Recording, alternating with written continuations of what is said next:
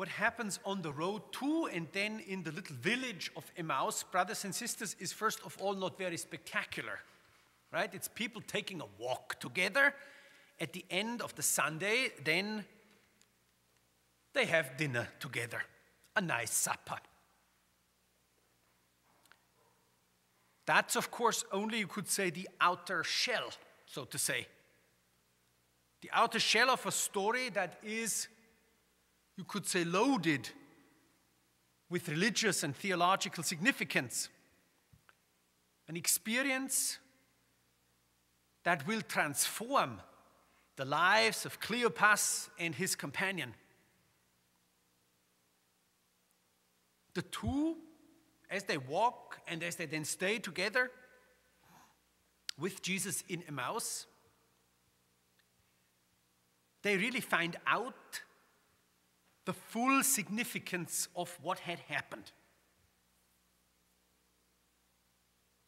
As we go through these pages of the gospel, as they went through them, the death and then the resurrection of Christ, first of all, becomes really clear to them.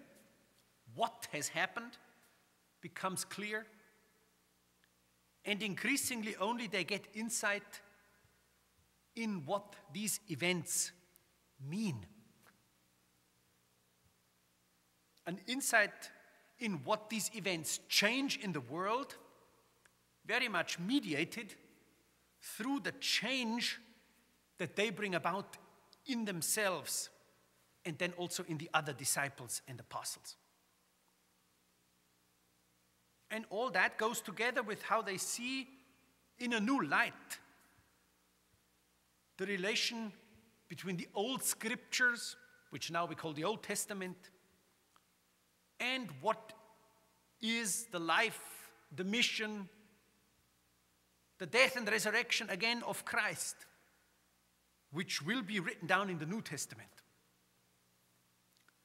And last not least, it dawns unto them interestingly, in the evening of that day, how the Eucharist is now the preeminent way in which the risen Lord is present and can be recognized. And the key, at least one key, to all of this is the apparently slow and gradual change that is happening in the two disciples. A change that unfolds as they walk with Jesus on the road. It is at the same time a change of mind and a change of heart. And that indeed will be necessary. A change of mind and a change of heart in the disciples and in the apostles to get from where they were after Jesus was died, after Jesus had died, to what they would do. We see it very clearly in St. Peter, in how he talks the Acts of the Apostles and how he will write in his letters, how his life becomes indeed a path of life, a way of life instead of being a futile way, which would lead quite literally nowhere. And this is the challenge, of course, for us, and at the same time, the gift for us. And especially in these weeks that we now go through again, ever so slowly, and probably also gradually. These weeks of limitations, and lockdowns that affect pretty much every aspect of our lives, including the life of the church herself. And we therefore need to ask ourselves whether we are ready, whether we're willing and open for that kind of change. And it needs to be that kind of change because being open to the change of others is not really an openness. That's the mother of all closed mindednesses. Openness is always my openness and my willingness to change. The big alternative, and in my perception, wrong alternative that is out there, and that is also often in here, is that we are still stuck. Stuck in having all kinds of ex expectations on others. That's our first reaction.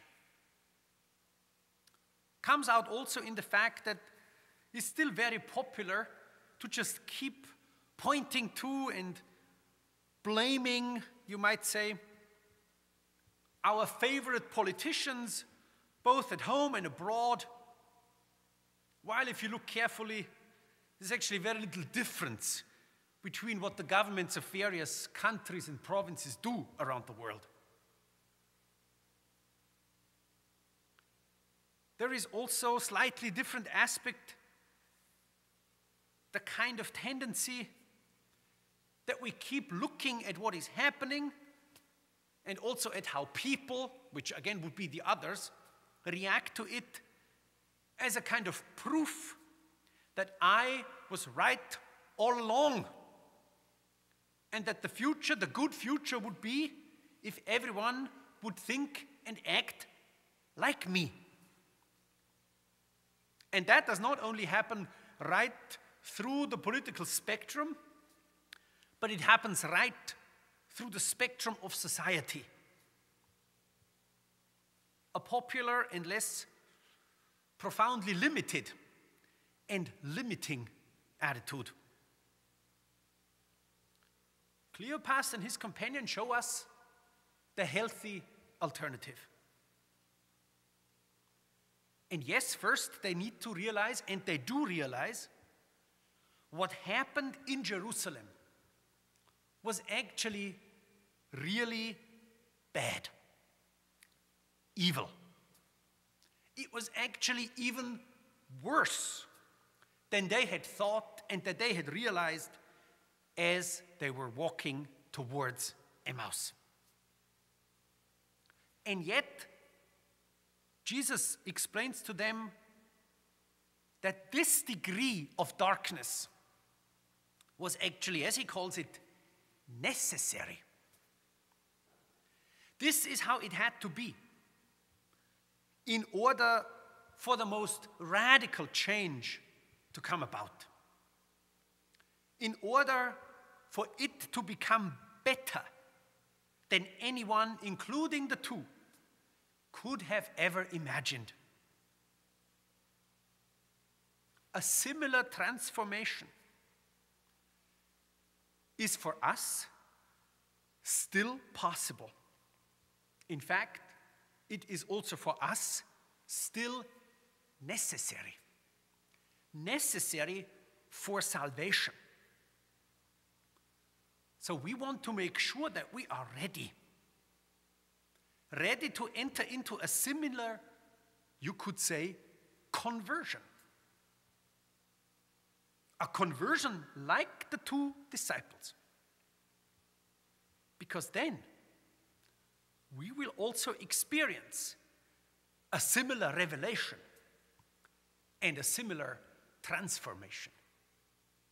Amen.